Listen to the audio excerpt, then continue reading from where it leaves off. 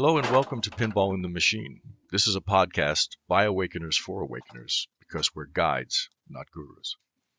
This is where we discuss the what the hell just happened aspect of what might loosely be called a spiritual awakening. So rather than us telling you how you should do it, we believe there is no right way, and that by sharing our experiences, we can help each other to develop holistically. I'm Greg, and with me is my dear friend and co host Tom, and today we'll be talking about how we came to go down this rabbit hole in the first place. You might find this useful if things are happening in your life and you feel like you've been thrown into chaos, because what we cover might help shed some light and enable you to realize you're not alone. So let's get started. Morning, Tom. How you doing? I'm good, Greg. How are you? I'm pretty good. Sun is shining. Super. What's not to like? So I guess I'd like to know what's around for you this morning on this first podcast ever. Exciting. I think um, I thought I would just spend a couple of minutes just going back to the beginning uh, because I think it's it's a nice place to start. Um, it's it's quite important to me. Um, so let's just jump in. I mean, uh, I think it was August 2020. You reached out to Sophie and I, Sophie, my wife, and you felt that something needed to happen. You didn't know what it was, but you needed or you wanted to connect. And we answered the call uh, because you know we, we've we've always had a lot of time for you, and we've had some really interesting chats over the years. And I think, if I remember rightly, you I think we t- when you talked about it later, you said that it was actually Sophie you were really kind of focusing in on. Yes. Uh, and we started just having a free conversation about who we were and what we were doing. And I don't know which way around it was, but I mentioned something about spending time kind of visualizing things, scenarios, traveling the world in my head. Yeah. And I don't know whether that kind of pinged for you a little bit or what. Um, I'm not really sure. It, it, the thing with these things, it happens in the moment, and then in the moment, it's gone. So it's, yeah. And for me, I'm finding this is happening more and more. Um, but I know that initially I was a little bit, uh, I thought aware that you might be a little bit more analytical than Sophie, and so it might be tougher for you to engage, and yet you're the one who grabbed it and ran with it and said, "Right, what's this?" and yeah. and I don't know what this is either. So we're kind of um, discovering. And I think what's important to point out to people is you and I have having been having these discussions pretty much weekly, nearly two years now, um, and it it seems that other people might benefit if they don't know what's happening. You know, something is going on, things are weird, but they don't know what it is. And maybe our trying to discover what was going on for us can help other people discover what's going on for them. Yeah. And then, and, and effectively, two things kind of struck me in that first conversation. One was, I think you just had your own funeral, and it, yes. it I was in, I was intrigued as to what that meant. Um, maybe more on that later. And the second one was this idea of um, this kind of what what did I think it was at the start? Maybe unguided meditation. I don't know. Um, it's been, you know, I think let's be. I remember years ago, um, you actually gave me a piece of guided meditation. Um, and I think that's what I thought meditation was, either so either sort of and you know, and and then I got. We both started talking about this idea of whatever it was, unguided meditation journeying, where you you you go into a you you meditate or you go into with some kind of state, but with no expectation Yes. And and every time I, I started and every time I did that, I started recognizing points as I went. Or maybe I was leaving myself little markers. I don't know. But I got to a point quite quickly where I was I was I was in this state or whatever it was, and I started seeing things, hearing things that were interesting, and sometimes when I came out, I remembered them, and sometimes I didn't. And I started writing some of them down and thinking about some of them outside of that place, and that was the start of a journey for me. Yeah, and it's still going. I think the important thing for me is that I don't know what I'm doing, and I never really have. Um, when I got the the wake up, if you like, the, and it's happened a few times. But when I got the one of the bigger ones, uh, I didn't know what was happening. This is not my line of country, um, and yet here I was. And what I've come to realize is there is no right way to do this. That everybody's on their path, and all of the paths are going pretty much to the same place in one way or another. I think.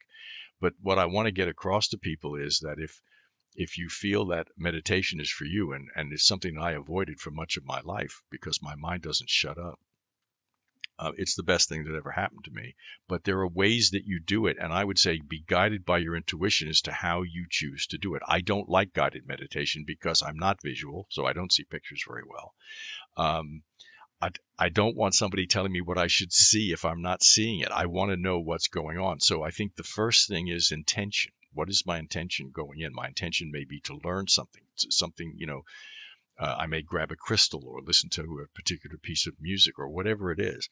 And I may say, well, what am I here to learn today? Or, you know, what's my next step? Or can you help me with this or whatever it is? But over time, what I've realized is that going into this place, you go in without fear. You just go and you trust it. And then everything starts to unfold. And it's the most magical thing I've ever experienced. Yes. And I think that, you know, I can, I can say hand on heart that, that there are some truly uh, physical representations out there of, of what it can do. Um, yes. for myself, and I, I, can recognize them now looking backwards. So I think one of them is um, we talk a bit about synchronicity. And there have definitely been occasions where something has come out that you either that I felt was imp- that I felt was important, and and I've either been shown it in physical form fairly soon after in the real world or recognized it, or you and I have both come to it simultaneously. Yes. And not shared it, and then and then and then shared it, and the other one's gone ooh, that's a bit spooky. Mm. And um, and then and actually, and also, the, the second one is um, personal relationships. I've I've seen a market improvement in the the quality and love of the relationships I have with other people, certain yeah. other people. And then the third one is um, being able to recognize in real time um, when it's your ego driving things. That's a big one. Yeah. And, and not necessarily do anything about it. You don't, you know, but just to just to recognize. Yeah. And and, and I must confess that, you know, still to the, to this day, even last week, I'm still not there in terms of being able to do that all the time. Good. You're never there. probably probably won't ever. and I think also with this, the, the thing I really wanted to um, this to be is that people can tap in and listen into what we're talking about because what I found is having the experience is one thing, but because a lot of it gets forgotten because it's a different frequency almost you, you go into a different frequency you get a lot of great information and when you come back to this frequency you don't quite have access to it. But once we start talking about it, then things start showing up. Connections are made that I had forgotten when I journeyed, let's say, or connections are made with some of the insight that you have, and I think, oh, that's amazing. Uh, the the toric field was one of them. I remember that really blew me away because I don't see it, but you described it. I thought, yes, that's what it is. I can I can feel it, and I think the importance of this particular podcast and the thing that I want us to stay on as much as we can over however many episodes we have is that people understand that if they're doing it, keep doing it. If you don't have anybody to talk to, shoot us some messages, shoot us some questions, and we'll try to answer them as best we can. And that will help everybody because I don't know what I'm doing. yeah. Um, and and I, I, one of my guesses about where a lot of people are is that in the world is that a lot of people probably have very close relationships with other people and they maybe have a sort of a select group mm-hmm. but do they have somebody that they could say absolutely anything to out of any words in the entire world i would say that's rare and how uh, i think it would be i think it would help people if they had a place they could go to where they could say anything and, and not be met by any judgment. Yeah. Just love. Yes. And it's hard because we're supposed to get it right. There, I don't believe there is any such thing. I think that's just a construct because yes. there are times when I've just, you know, felt I need to go do this or do it like that and no idea why. And then find that's exactly what I needed to do, but I had no idea why I decided to do it. It just, I felt compelled to do it. And it doesn't mean yeah. do stupid things and, and not con- consider, but because as you as you do the journey, the heart tends to open and the brain tends to quiet. Then you're guided by the true you because it's not your head, it's your heart.